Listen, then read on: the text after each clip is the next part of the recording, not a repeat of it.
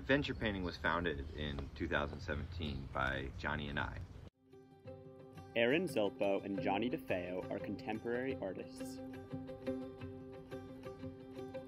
We must be very careful as we approach the painters in the mist.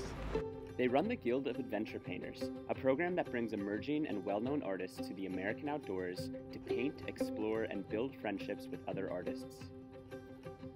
This September, Adventure Painters is coming to New York. Going to New York!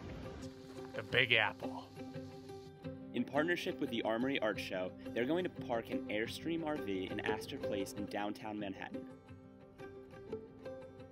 The Airstream will open to reveal an exhibition of paintings.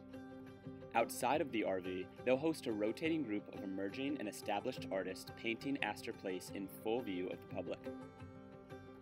With your help, New Yorkers will see leading contemporary artists painting their city in a free, safe, and accessible installation.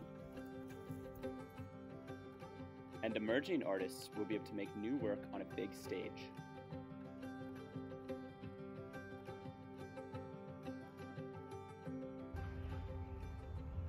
And that's it. That's it. That's where we And then stop. we're gonna But cut that's- away.